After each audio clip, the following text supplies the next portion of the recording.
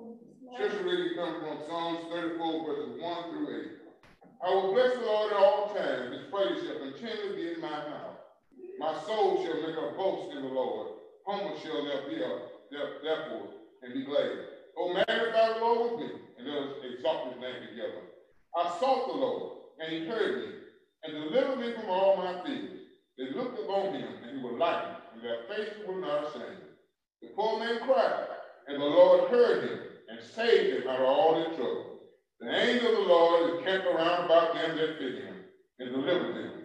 Oh, taste and see that the Lord is good. Blessed is the man that trusts in him. God's word for people, God's word of God is already blessed. Amen. Let us look to God in prayer. This morning, I'm going to the Father for coming, bless you in heart hearts, the Father. Truly, thank you for another day, and Father. We thank you as we not ourselves here to study your word this morning, our Sunday school, Heavenly Father. We ask you to continue Bless us when our teach you, Heavenly Father. Bless you and uh, devour your word, Heavenly Father. Open our minds, Heavenly Father, our hearts, to receive the word, Heavenly Father. Yes. Not only to heal the doers of your word, Heavenly Father. Yes. Yes. Thank you for this day, Heavenly Father. Just bless all. They're all standing in need of blessing. But one thing we know, Heavenly Father, we just continue to praise your holy name, Lord. We know that your word is praised, Heavenly Father. You look far beyond our being, to that our days go on and on. We say thank you. Father, continue to give us a mind Lean not to our own understanding, Father. Yes. Father, just give you the glory and praise. Mm-hmm. Father, we just thank you this morning, Father. Thank you for your sunshine this morning, Father. Yes. Yes. Press on to do your whole will and glory. Yes. This where we put us up where we're going now. We will continue to say thank you, Lord, for all your men blessings, Father. Father, Father continue to bless, bless our pastor, Father. And Father, continue to bless this Sunday school that we continue to go forward in your name. We pray this prayer in God and Son Jesus' Thank you for pray this thing. Amen. Amen. Amen. Amen. Amen. Good morning, New Hebron. Good morning. Just put You'll I want to see if the camera is correct. Oh, that's pretty good. All right, good morning, New Hebron. again. Um, yeah, it's good. It's good. Yes. I um, do uh, apologize if I seem a bit discombobulated this morning, trying to do the job of uh, three and uh, I know, you know, with God's help, it, it, it is definitely possible. It is definitely possible. So um, I stand here before you today to get a chance to teach one more time or lead the discussion one more time um, in this unit. And uh, before I even get into what the title of the unit is, I do want to let you know I've talked to a few people this morning who come in the sanctuary. I've uh, invited them, told them I need your help. Prop me up this morning. All right. Um, what's most important is that God's words go forth. His teaching is correct and it's accurate. And uh, it is my prayer and uh, the will of the Sunday school that somebody hears something that will help strengthen their walk with the Lord All right. and help become more knowledgeable about um, the prophet of Jeremiah, who we'll be discussing this morning, and King Zedekiah. And, um, and, and it, you know, it's not about me. Um, it doesn't matter who's teaching the Sunday school. It's what matters is the word, that the word is going forth. So I've invited some people to help me out. I want to invite you all to on Zoom to um, jump in and help me out. And uh, let's make this discussion be what the Lord would have it to be. All Let's have let's let it to be engaging. I noticed that um, last Sunday the Sunday school was so engaging when we was talking about uh, the man the title just escaped. Uh, empty worship or let's see, empty rituals are useless. Right. And uh, man, what a discussion we had last Sunday. What a discussion we had. So I do want to invite you all. Zoom, we do have a chat. Um, I did turn the speaker on. If I don't see your chat quick enough and you need to just get it out there, I will hear the speaker. You just need to unmute yourself. All right. And uh, let's carry on in this. So I'm starting unit three. Courageous prophets of change. Courageous prophet of change. And I have enjoyed this study. Um, I have enjoyed it. Um, and it takes courage to be a prophet because you have to speak sometimes for things that are not popular or not even politically correct. right. As long as it's biblically correct, then you, you're doing the right thing. And, um, and in this lesson here, it made me often wonder. I saw myself a lot as King Zedekiah. Before we get the whipping on him too bad, uh, there's a lot of things he's done that I've done too. All right. A lot of things he's done that I see in myself and um, needs correct. Needs correct. So let, before we get the whipping on, him, just think about it. Now he sought out advice. You know, you know when people ask for advice, do you often wonder do they really want to get the truth? All right. or do they really just want a yes man? You know, and um, and uh, if we're in a position to where we're the one giving the advice, we have to be careful. We have to be careful because if we're only telling them, speaking from what Arlander thinks, then they know better off than before they even ask them. That's We got to make sure that advice is coming from the correct source. If we're giving advice, it needs to be godly advice. That's right. If we consider ourselves Christians, we're godlike, then our advice should be godlike as well. So let's be careful of that advice that we speak, because we have the ability to speak life into a situation. So let's use God's words to do that. That's the only source of true life. And um, in this lesson, um, consequences for, I'm sorry, the consequences of giving challenging advice, the consequences of giving challenging advice. And um, Jeremiah had faced some consequences prior to this. Mhm. He, he faced some consequences in giving challenging advice. But um, the thing that um, that kind of tickled me about this lesson, as it first started, is um, like I said, I see myself in it. This lesson picks up where um, King Zedekiah had sent for Jeremiah. Mm-hmm. He had sent for him, and um, it wasn't the first time they had that conversation. You know, uh-huh. the first time he had it, threw him in jail. They mm-hmm. tried to kill him the second time. We'll talk a little bit more about that. Mm-hmm. Then here we go again, the same conversation. You know, as parents, have you ever felt like how many times do I have to keep telling you? I told you and I told you. As a teacher, I feel that way. You know, I teach algebra and I keep telling them, you know, whatever you do to one side of the equal sign, you gotta do it to the other side. And then I tell them that during the lesson. I tell them that during the guided practice. I tell them that. And then I tell them that during the independent practice. Then we finally get to the test. Come time to grade it, and there we go again. I guess I didn't tell them enough. Here they go, still doing it on one side, not the other side. All right. But um, Jeremiah was faced with that challenge of um, having to t- tell the same message over and over again. And it, it's funny how um, he kept saying the exact same thing. That lets you know that that message was truly from God. You know, Right. if you look at um, one and nine, um, Jeremiah one and nine, it talks about how God touched his mouth and put his words in him. And that's what a true prophet does. They only speak the words that God has placed in their mouth. They can't say anything other than that. They can't add to it. And they can't take away from it. Right. He had to speak those words. And that's why the message was the same. God's message doesn't change. It didn't change each of those three occurrences, and it still haven't changed today. Amen. The message is still the same. Right. The message is still the same. And uh, this is talking about consequences of giving challenging advice, but there are also consequences. Now I'm gonna get into the lesson after this, but I want to bring this point out. There's also consequences to not following godly advice. It was consequences. You'll see that um, uh, King Zedekiah had to face some consequences. It was had to face some consequences that he couldn't escape. You know, he tried to talk his way out of it, but there was no escape for him. There was consequences for not taking godly advice. And it's the same is true today. There are consequences for us not taking godly advice. Amen. There are consequences to it. All right, so let, us get into the lesson. We're on unit three.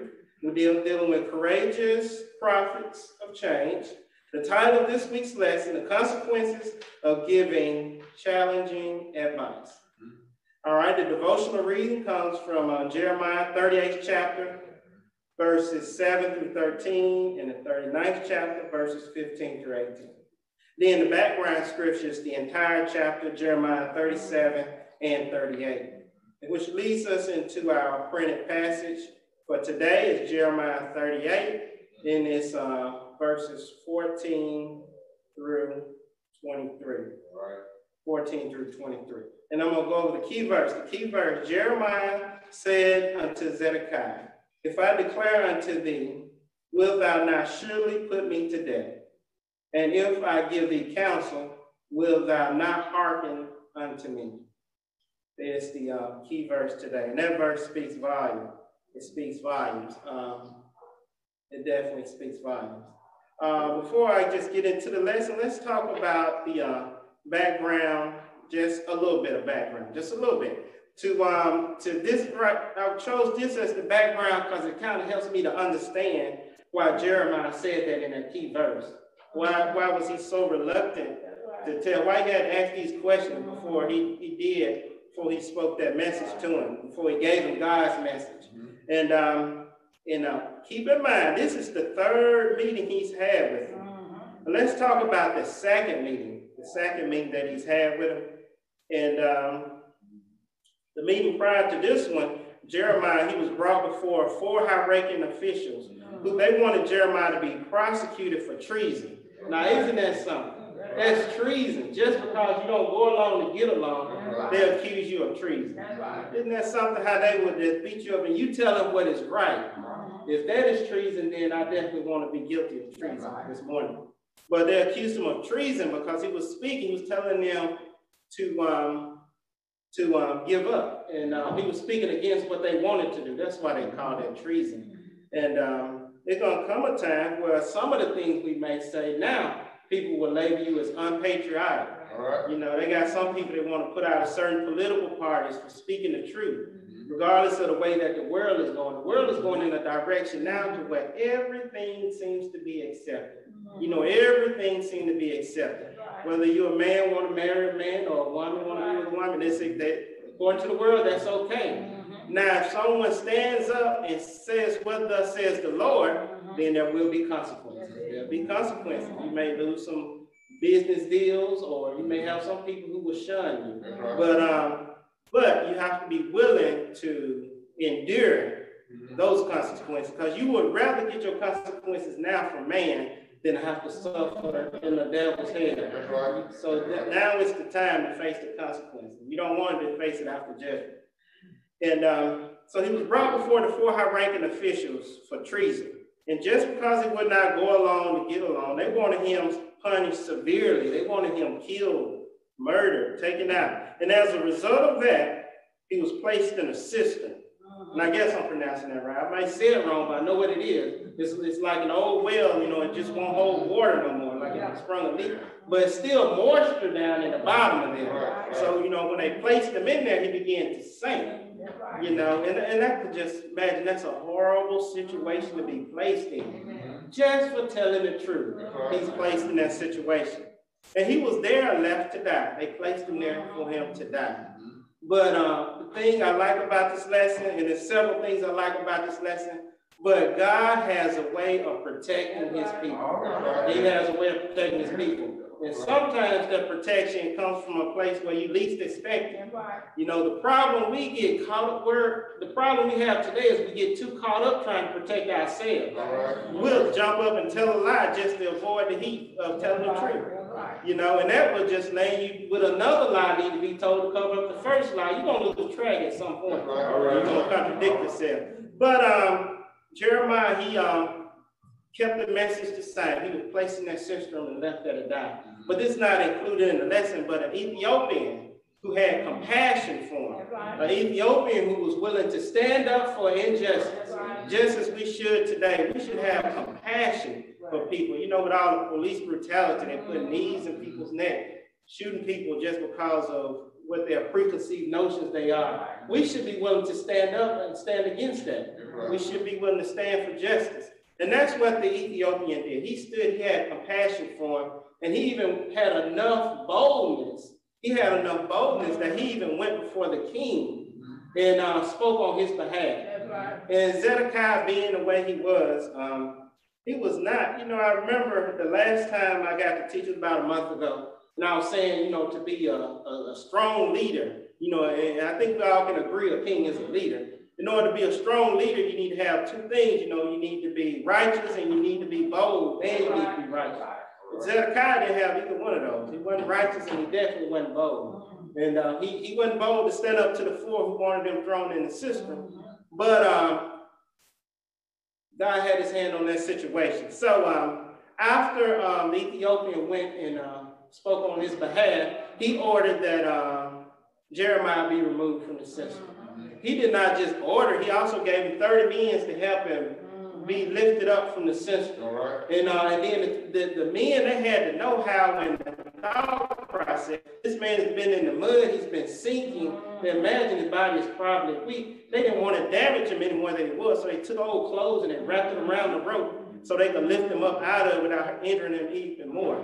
So that just goes to show you, if you're in the will of God, no matter, even if you're sinking, stay right in the will of God. He will provide a place. He will provide that 30 men. He will provide somebody who will help lift you back up Amen. if you're in the will of God. And that's exactly what happened to Jeremiah. And um, Jeremiah, I remember we was talking about in Lamentations, he was the weeping prophet. He was a suffering prophet. Mm-hmm. And um, he did suffer, but the message remained the same. All right. All right. And in that prison, is where he was at when um, King Zedekiah sent for him in today's lesson. He was still in prison, and uh, Zedekiah sent for him. And that leads us into the lesson. Let me get back into my uh, Sunday school book here.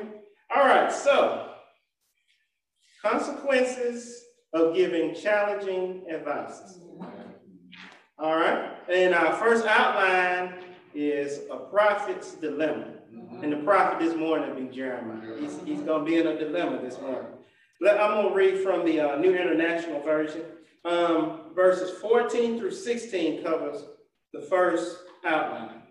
Verse 14, then King Zedekiah sent for Jeremiah, the prophet, and had him brought to the third entrance to the temple of the Lord. I'm going to ask you something, the king said to Jeremiah. Do not hide anything from me. Jeremiah said to Zedekiah, If I give you an answer, will you not kill me? Even if I give you counsel, would you not listen to me? But the king swore this oath secretly to Jeremiah.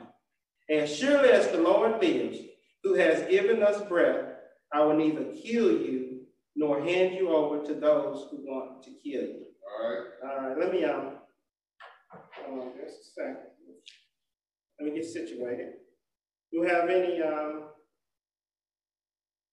I got something in the chat. Hold on. All right, thank you. I got somebody in the chat already. Thank you. All right. All right. Before we get into this first outline, let me read this one. It says, this lesson shows us, he shows this, the lesson for us here is about compassion. As Ebed Melech showed compassion for Jeremiah, that's the Ethiopian I was talking about. I was trying to get out, trying to pronounce that this morning. It was in, it was in the chat. So we must show compassion for those who are helpless and suffering. Society is full of people who need our help. That's true. It's full of people. We need to have compassion, not just the injustice. There's some people that don't have enough food to eat this morning. There's some people that got a bill that they don't have the funds to pay. And we sitting with money in our bank account. Some of us got more than one. We got the savings and we got the checking and maybe another checking. You know, but we have so much. We need to be willing to have compassion, to share it. We don't own it anyway. God just allowed us to be stewards of it. None of it is ownership. So we're just stewards of it. And let's be good stewards and show compassion for those who in need, whether it be something physical or spiritual counseling or whatever their needs may be, whatever their needs may be. Um, we need to try to meet their needs, just as Jesus did. You know, he fed the hungry before he preached to them. He met the people where they are. So that's what we should do. We should have that same compassion. Thank you for that comment. Let's let's get into our first one, the prophet's dilemma. All right, now, like I told you, King Zedekiah, he sent for Jeremiah, and he had him brought to the third entrance. You may wonder, why the third entrance? Why would it be the third entrance? Why he couldn't come in the front door mm-hmm. like everybody else? Why the third entrance? And the reason why the third entrance, he wanted this done in secret. Like I said, he wasn't a very bold king. He didn't even want anybody seeing him talking to him. He wanted this done in secret. He wanted it done in secret. Isn't that something? That's why I said to be a good leader, you got to be bold or righteous. He didn't have the boldness. But I tell you something that he did have, he did have some value for the word of God. He still sent for that word. He still sent for that word. And um, that worries me today about some people and about myself too.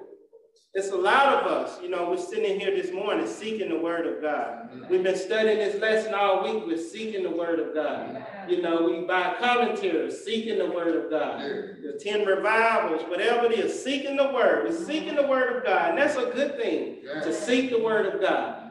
But are we doers of the word? Are we doers of the word? That's where we fall short. Seeking God's word is not enough. We have to apply it to our lives. And that's where King Zedekiah fell short.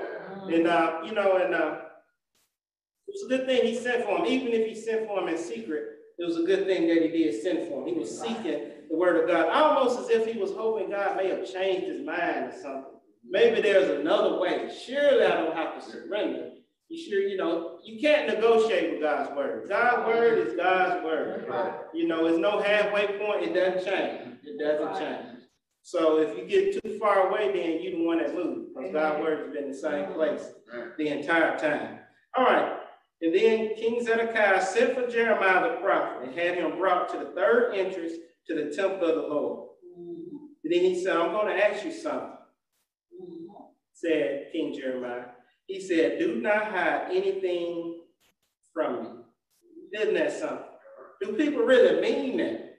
You know, I just think about it. If they really meant it, then why do we behave the way that we do? Why isn't that when people tell us the truth, we get on the defense if we said the truth is what we really seek? Why is it that we um, get combative about it?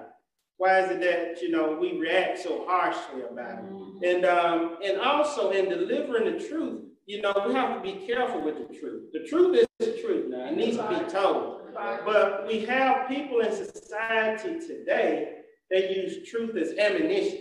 They don't use it to help build you up. They use it to tear you down. That's it. That's it. They use the truth to tear you down. You know, and it says in Proverbs, you know, uh, uh, soft words, you know, turn away wrath. It, it, turn away wrath. So the way that we deliver that truth is important we need to make sure that the truth, even though it's the truth, it needs to be coming from a good place. Right. And it needs to be something help to build up, as I say, instead of to tear down. And it may seem like Jeremiah was speaking against King Zedekiah. It may seem like it was, but he was trying to build him up. He was trying to save his life. Right. Everything he was telling me was for his own good. Right. I used to think about back in the days when I used to get them whippings and um, you know, you get the whippings, they say it's for your own good. I couldn't understand it. I don't see how that's good for me. You must don't feel the other end of that. You know what I'm saying? I couldn't get it just then. And that's what that word was doing to Zedekiah this morning. It was whipping him. It was whipping him.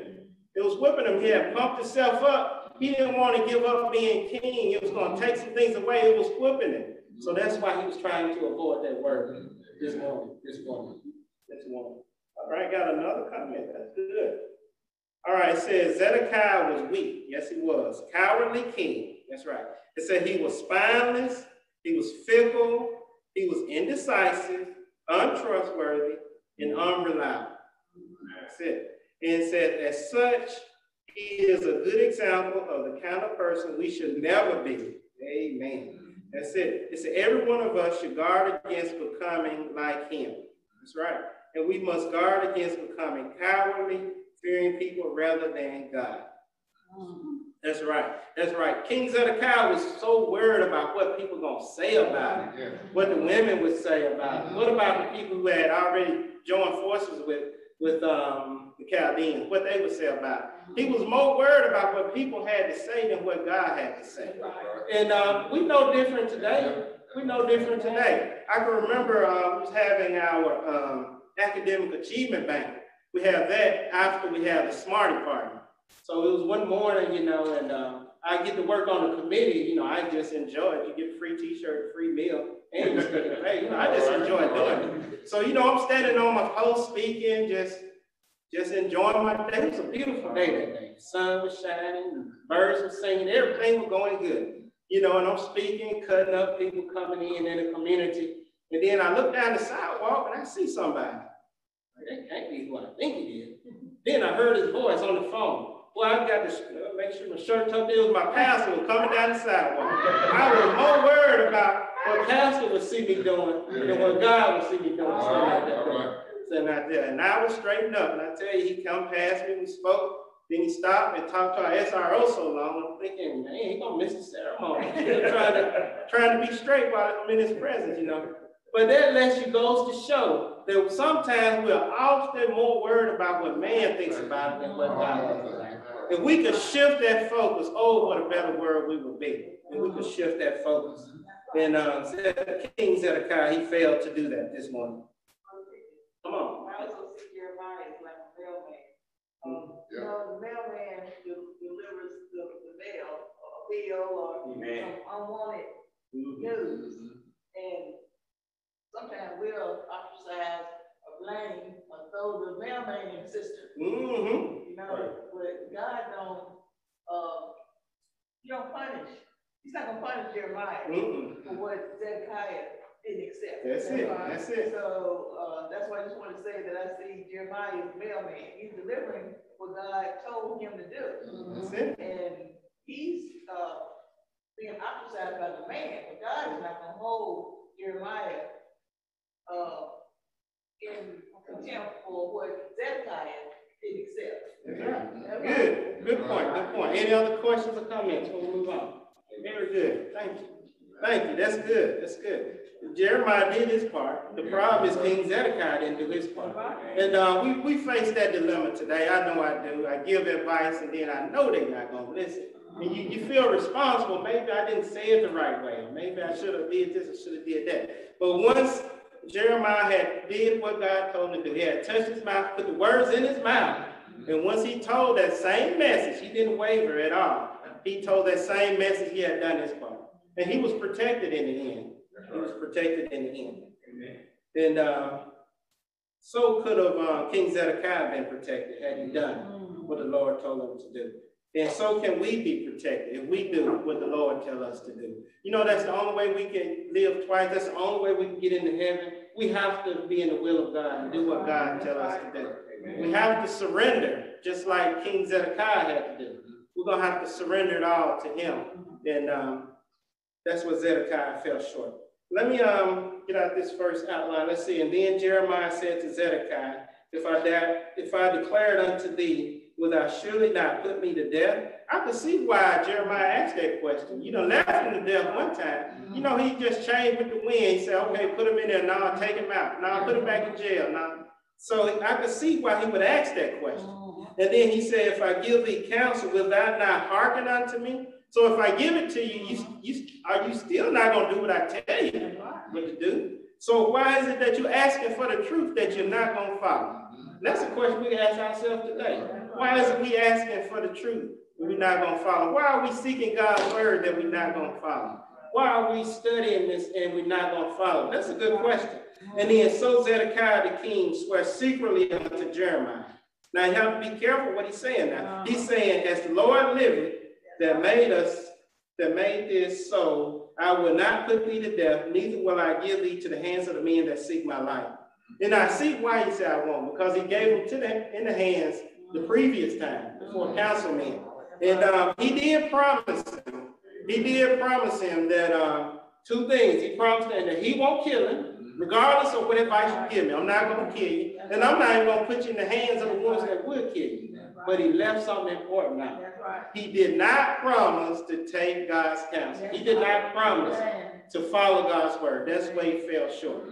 That is exactly where he fell short. And that's the prophet's dilemma. Any questions or comments? But you know, the, the king had to know the Lord for him to make Jeremiah that promise. You know what I'm saying? So he, he know the Lord, he know what the Lord was, was telling Jeremiah, but he just didn't want to listen. He just went along with it, get along. That's it. Mm-hmm. That's good. Thank you for that. Yeah, he did know the word. He valued the word. He valued the word enough to have a man pulled out of prison, mm-hmm. sneak him in through the third entrance, don't let nobody see him, just to seek that counsel. So he knew it was important.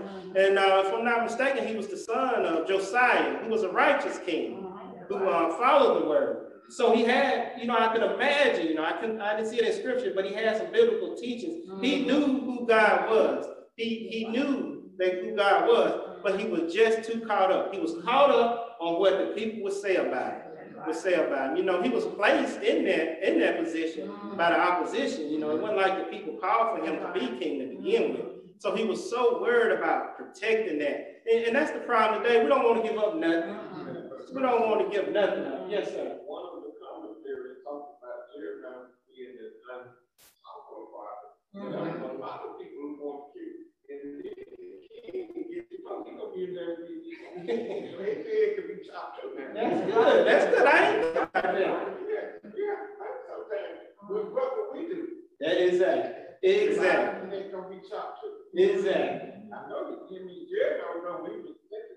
That's it. But it was unpopular that particular group of folks. It was. It was very unpopular. He, he did that through five different kings. Yes, sir. I, I, I see us in the same boat as the king is. We hear what the word, God's word, is telling us.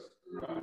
But we still refuse to turn to seek him. That's right. We still want to establish our own rights and not submit to the unrighteousness of God. That's it. If God tells us what not to do, and, and, and, and it ain't in our, in our category, we still gonna try to do what we want to do. That's it. But we got to learn how to submit ourselves unto God. We got to have a relationship with God. And whatever God said, when, when I'm reading the word and I see something and, and hit my toes, ooh. Yeah, that's it. That's it. So, so when we see word and, and it talks to us, we need to take heed. That's it. Don't just read it and, and, and, it don't mean as it means. A lot of folks read the Bible and when get to a situation, them, they want to accept it. They're talking, they're talking to talking to Kelly, talking to yeah, talking to somebody other than But when you read the word, and, and, and they're gonna come out, they're gonna jump out on the page and talking directly to you. Just like it was to the king now. You got to hear what the word said. Just like Sister Eva said, when the mailman dropped the mail off, don't get mad. Mad. When, when, when, when, when Pastor will be preaching the word of God, when the word goes forth and hit your toe when he dropped the mail off, don't get mad and I speak to him and shake your hand he That's right. That's it. That's good. So we do. When we hear the word and, and it falls on us, we don't we, we'll move it to somebody somewhere else. But see, the word is made it's like a two-edged sword. Mm-hmm. Huh? So, mm-hmm. so what it do is it's gonna hit us, it's gonna whoop us, mm-hmm. trying to get us back what God wants to be. Mm-hmm. Showing all your many blessings right there with the Lord. That's it. Yeah, very good. What you said, break our heart. Right. Yeah. Break our heart. Bring our heart. And, and, and then we should change. That's it. That's. That's it. Repent. Repent. Mhm. Yeah, let the word convict us. Mhm. Yeah, that's it. That's it. And it should change our behavior. You shouldn't be the same right. after you don't seek the word. You shouldn't be the same. And um, Because like Zedekiah, he would have saved his life Mhm. if he right. went on to the Babylonians right. and, and did what Jeremiah told him to do. Mhm. mhm. And the city would have been burned. yeah, I agree with that. That's what I'm saying. We look at this, and I looked at it the same way as if he, if Jeremiah was just teaching and preaching doom. But he wasn't. He was giving them good news. He was telling them how they could be spared from the devil's hell, how they, how the city could be saved. He was telling them how his life could be saved, his family life could be saved. He was giving them good news. But all he could see, he was too shallow minded. Didn't want to lose his popularity. We the same way today. The same way today. Same way today. We'll kill ourselves working three or four jobs just to keep the house on the hill and the shiny Cadillac in the driveway. Suffering. Don't want to give up nothing. Mhm. Just don't want to give up nothing. Sacrifice and sacrifice. Very good. Thank you all for the comments. Let me check. The chat looks clear. Oh, no, got something in the chat. No, thank you. All right. All right, got another comment. Thank you. Let's see. It says, if he had listened to Jeremiah, the things that occurred in chapter 39, verses 4 through 7, but not listening to the outcome was worse than surrendering to the Babylonians. That's it. That's it. The same with us today. If we reject God, then we suffer the fate of suffering. Very good. Very good. Very good. Because he didn't listen, oh my goodness, he was forced to see his, his own children killed. His own eyes was gouged out. He, ooh, he suffered. He suffered. And he lost his life. That's a good question. That's it. I agree. Where you want your whipping from? I definitely take it from man any day. And Jeremiah, he had that figured out. That's why, okay, you want me, I'll go right back in prison. Yeah, said, you want me to come out, I'll come back out. You put him in the cistern, he started to sink. He, God sent somebody to lift him back up out of there. The same king who ordered him in there ordered him right back out. And so um, Jeremiah had that figured out. Poor, Zen, poor King Zedekiah mm-hmm. didn't have it figured out. We have people today who mm-hmm. still don't have that figured out. That's good. That's Amen. when they keep saying the word over and over and over, we still ain't heard it. Still. Mm-hmm. Still ain't heard Mm-mm. Over and over. One time they said, I want to run more preaching the same sermon. And, and we hadn't got it. Yeah, that's it. I guess we hadn't got it. What he was talking about, we hadn't got it. So the Lord kept re- trying to refer to, but to get in our heart, we got to repent from our sins and walk after God's will, not our will. Mm, That's it. Very good. Very good. And God is so good. Look at all the chances he gave Zedekiah to save that city. Chances he didn't deserve. He kept giving him chance after chance. And uh, he did adhere to the advice. Let's look at our second uh, prophet advice. Um, I'll be reading from the New International Version. Then Jeremiah said to Zedekiah, This is what the Lord God Almighty, the God of Israel, says. If you surrender to the officers of the king of Babylon, your life will be spared, and this city will not be burned down. You and your family will live. But if you will not surrender, the officers of the king of Babylon, this city will be given into the hands of the Babylonians, and they will burn it down. You yourself will not escape from them.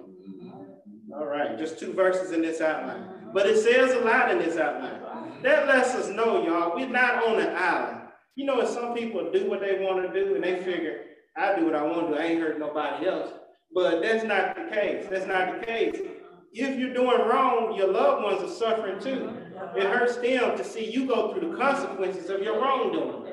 So you're not on an island. Now, he was in a situation, King Zedekiah, to where he could have not only saved himself, he could have saved the whole city, he could have saved his family. But he was too worried about his image and what folks thought about him and what they would say that um, he made the wrong decision. He made the wrong decision. But um, Let's look at this again. Then said, then, then Jeremiah said to Zedekiah, What the Lord Almighty, the God of Israel, says, if you surrender, if you will, only willing to surrender, the officers of Babylon will spare your life, this city will not be burned down, and your family will live. Mm-hmm. And he was almost as if if he can't be king of the city, then just burn it down. You know, we have people like that today. They'll just tear it up rather than see somebody else with it. That's right. So, um, but uh, he was selfish. He was selfish. He was so caught up on self. He was so caught up on self that he wasn't willing to give up just a little bit, just to gain so much. So much would be spared.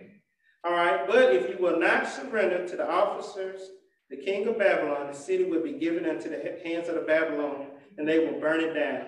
You yourself will not be escaped from it. So the city was going to the Babylonians one way or the other. One way or the other. He chose the other, unfortunately. It wasn't good for him.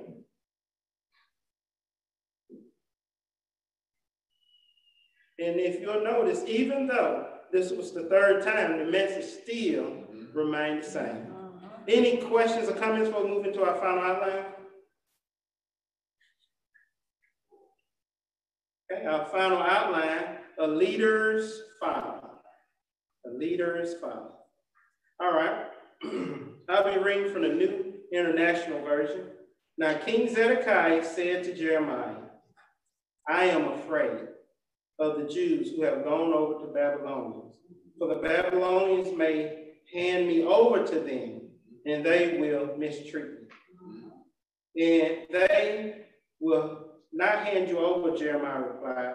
Obey the Lord by doing what I tell you. Then I will go well with you, and your life will be spared. But if you refuse to surrender, that is what the Lord has revealed to me. All the women left in the palace of the king of Judah will be brought out to the officials of the king of Babylon. These women will have, will say to you, they misled you and overcame you.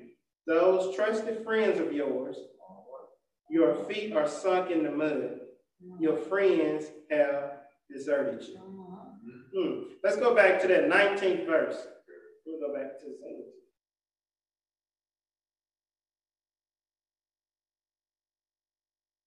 Let's go back to that um, 19th verse.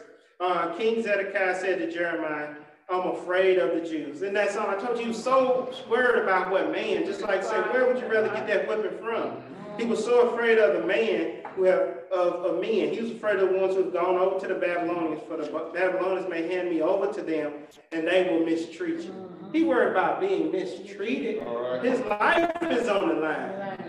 It's, it's almost as if he um, in denial. You know, we're in denial today. Mm-hmm. And some of us are constantly doing wrong, but yet we got our chest puffed out. We, you know, we walking around as if we got life figured out. Mm-hmm. It's almost if he was in denial. He's worried about being mistreated. What mm-hmm. about being killed? What about having your eyes gouged out, witnessing your family being killed, the city being burned down? And he's worried about being mistreated. And then they went and then he told them they will not. He, he's telling them they will not hand you over, Jeremiah replied. Mm-hmm. Obey the Lord by doing what I tell you. See, that's the thing. A lot of us get caught up on the messenger. Mm-hmm. Now, Jeremiah was delivering the message, mm-hmm. but it wasn't Jeremiah's message. Right. That was God's message to um, King Zedekiah. Right. So he was telling them what says the Lord. So I can see if you got to hang up with uh, a certain person, that should not affect because the words are coming from the God. The words are coming from God. So the words, those are God's words he's delivering. That's why I put it that way. So he, he's hung up on um, it being Jeremiah that he's talking to. Then he said, um, they will not let you go and your life will be spared. He's telling him the same message. The message still haven't changed. If you surrender, you will be spared. But he's like, but what about this? And what, what that won't happen. Then what this won't happen. Like I said, I make you feel like how many times I got to tell you. Right. The message is still the same. Right. Just like you said, uh, make have to hear the same sermon over and over again. The message doesn't change. Sometimes it takes a while. Our hearts are not tender. It takes a little bit more to prick it sometimes. Right. So the message was still the same. He's still telling him, your life will be spared.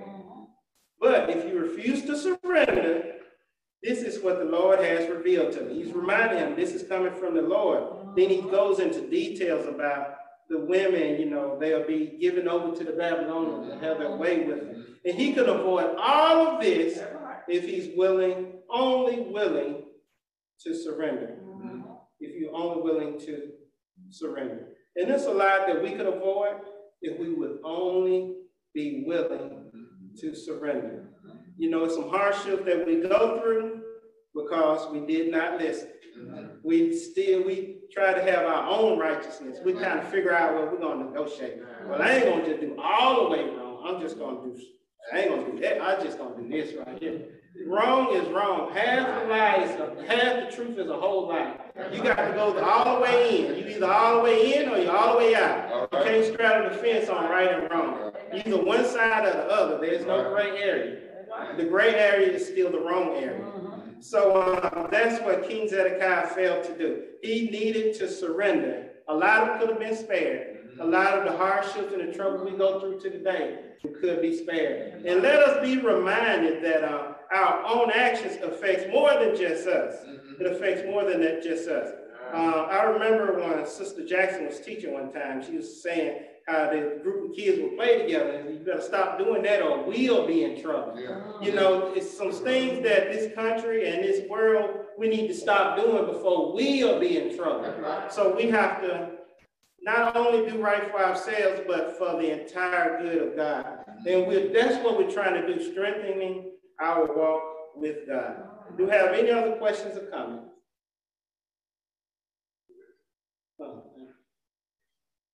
Uh, Brother Jonathan, could you do the offering? Do we have any more questions? Oh, here we go. Good. We got a uh, comment right here. All right, it says some people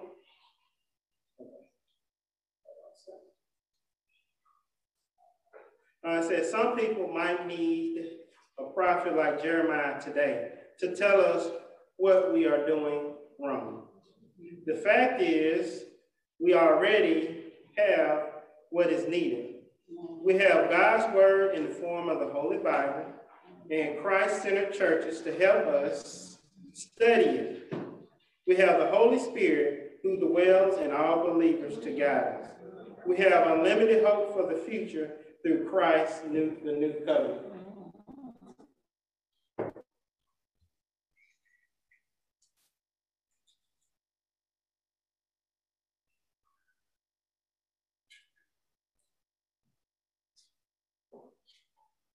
Get the wrong button. Let's see. Uh, yeah. I'll just start off. It says, some people might say we need a prophet like Jeremiah today to tell us what we are doing wrong. The fact is we already have what is needed. We have God's word in the form of the Holy Bible and, and Christ-centered churches to help us study it. We have the Holy Spirit who indwells, who dwells within us, all believers to guide us. We have unlimited hope for our future through the new covenant brought with the blood of Jesus the Christ. Thank you for that comment. I thank you for that comment. I thank everybody for their comments. I thank y'all for helping me get through this lesson. I thank you for joining in on this discussion. Um, the consequences, I tell you, I had a long title this, this week. I couldn't memorize it. The consequences of giving challenging advices. We need to be like Jeremiah, be willing to suffer whatever consequences there, there are. Because just like uh, Sister Norma said, you'd rather take that whipping from man or from God. And uh, me, myself, I would rather take it from man. Any more questions or comments before we close out? If none, I'd like to close us out in prayer. Father God, this morning, how we do love you, Father God. We thanking you for helping us with this discussion this morning, Father God. We pray that it was what you would have it to be, Father God. Father God, we ask that you go with us throughout the rest of this week, Father God. Father God, strengthen us where we weak and build us up where we torn down, Father God. Help us to better be better studiers of your word, Father God. Help us to not only be studiers of your word, but be doers of your word, Father God. Help strengthen our relationship with you, Father God. We ask that you uh, be with the pastor today, Father God, as he bring forth your word, Father God. We ask that you give him preaching power, Father God. We ask that his word prick our hearts, Father God. And we ask that we allow the word to convict us and make us better soldiers in your Christian army. We ask, we want to thank you for the offering this morning, Father God. It's our prayer that it be used just what you would have it to be, Father God. And help us grow our Sunday school, Father God. Father God, we know through you is, is the solution to all our problems, Father God. Father God, we're praying for restoration this morning, Father God. We're praying for you to restore the students back, Father God. We're praying for you to restore the teachers back, Father God. Restore us in every which way we need, Father God. We're leaning on you. Father God. We're going to turn to you from, from, from where our help coming from. We ask all these blessings in your darling son, Jesus' name. Amen. Amen. Amen.